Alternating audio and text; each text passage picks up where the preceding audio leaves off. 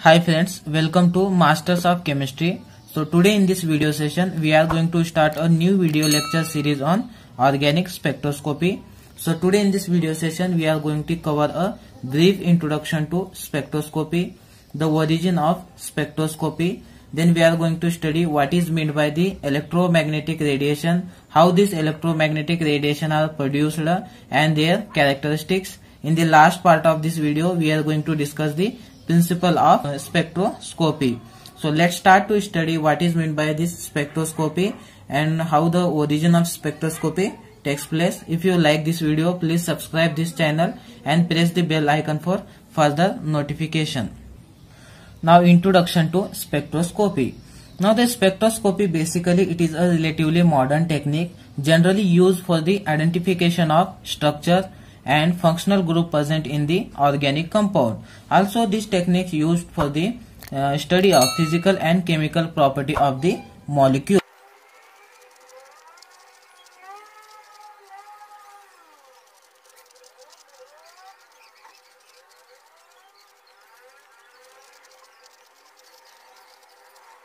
So before the existence of this spectroscopy, the newly structure, newly discovered molecule structure can be studied on the basis of molecular formula or on the basis of chemical reaction.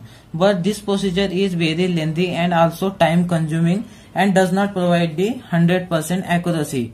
But on the other hand, this spectroscopic technique is uh, brings a great revolution in the field of science, especially in the field of chemistry, in order to identify the uh, uh, structure of the compound in few seconds. So this is a uh, very important technique which are great uh, brings a great revolution in the field of chemistry in order to identify the structure of the compound. Now let's see some of the advantages of using this spectroscopic technique over the other methods such as the chemical method or reaction method. The first advantage of using this spectroscopic method is the spectroscopic method are easier and faster than the chemical test because this method provide a result of the structure of organic compounds in few seconds. In the other hand, in chemical reaction, we required a very long time to bring the result of that organic compound. So this is the major advantage of using spectroscopic method.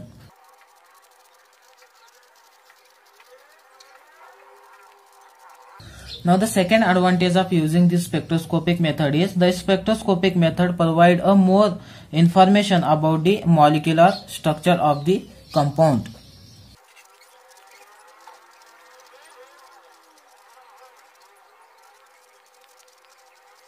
Now the third advantage of this spectroscopic method is uh, the spectroscopic method are non-destructive means if necessary we can recover the uh, sample but in chemical test once we use the sample we cannot be retain it.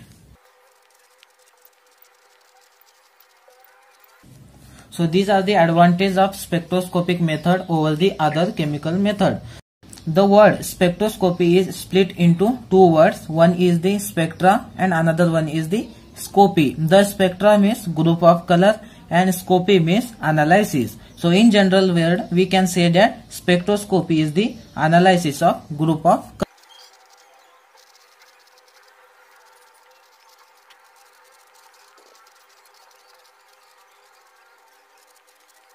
So in general word we can say that the spectroscopy is the analysis of group of color.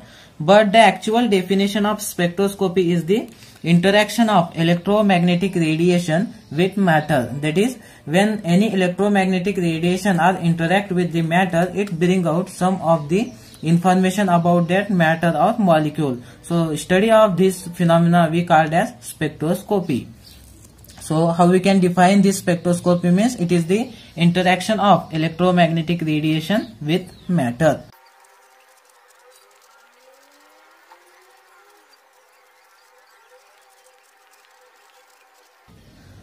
Now the origin of spectroscopy. Suppose I have an organic solution and we know that in organic solution the number of molecules are present. When I pass this electromagnetic radiation, now what is this electromagnetic radiation that we are going to study later in this video. When this electromagnetic radiation are passes through this solution, the interaction takes place between this organic molecule and this electromagnetic radiation.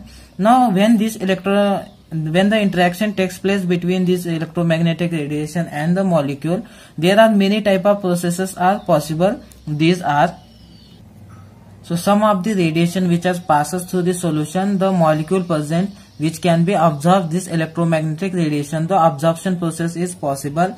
Or the emission of light also possible some of the light directly get transmitted from this solution there is no absorption. The transmission of light also possible. And the scattering, uh, scattering process also possible.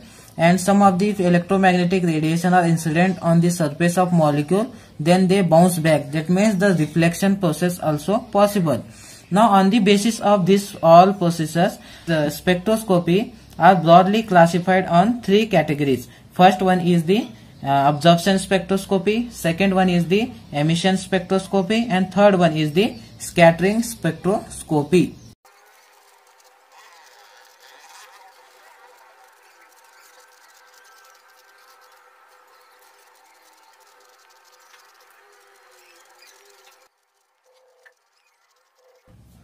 Now let's see what is meant by the electromagnetic radiation, how this electromagnetic radiation is produced and what are the characteristics of electromagnetic radiation. So the general form of electromagnetic radiation is the white light which are visible to our eyes. So the electromagnetic radiations are the group of radiation which are formed by the oscillation of electric charge and magnetic field when the electric charge and magnetic field are oscillate mutually perpendicular to each other then the electromagnetic radiation are produced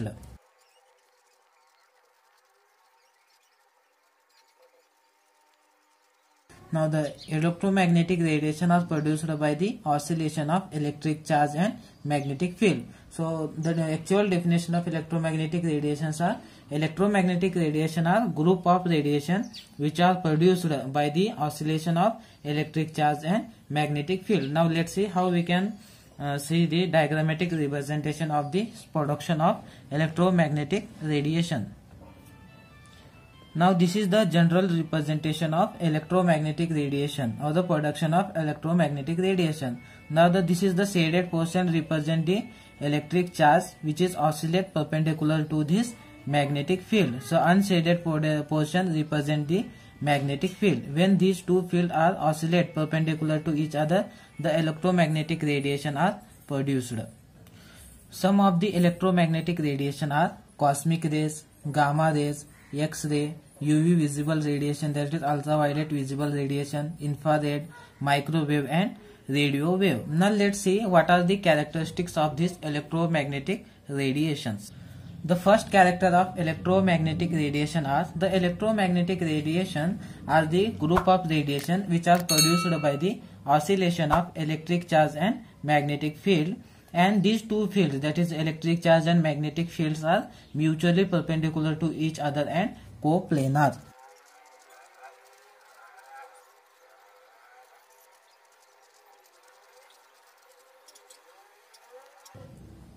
Now the second characteristics of electromagnetic radiation are the electromagnetic radiation are characterized by either on wavelength, frequency or wave number.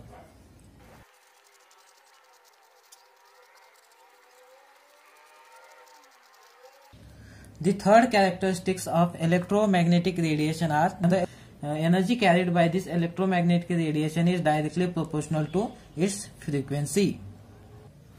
Now the fourth characteristics of electromagnetic radiation are the absorption and emission of the electromagnetic radiation are quantized. Quantized means the fixed amount of energy required for bring the changes inside the molecule and each quantum of this radiation is called as photon. So what is meant by photon? Photon means the bundle or packet of energy and this can be represented as uh, the each photon we can be represented as E is equal to h nu. The fifth characteristics of electromagnetic radiation are all the electromagnetic radiation travel with same velocity and it does not require any medium for their propagation.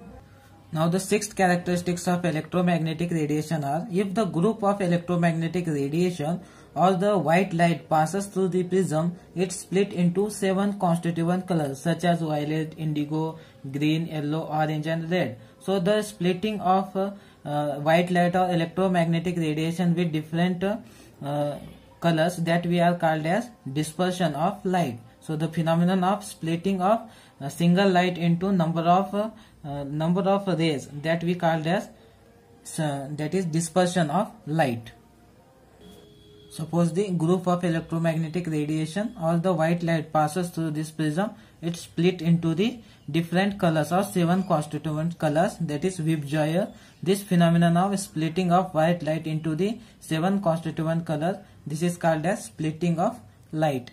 So if you like this video, please subscribe my channel and press the bell icon for further notification. In the next video, we are going to discuss the general principle behind the spectroscopy, what is the uh, spectrum and type of spectrum and lastly we are going to discuss the spectrophotometer. This is the device generally used to study the amount of electromagnetic radiation which are passes through the uh, matter. So thank you for watching.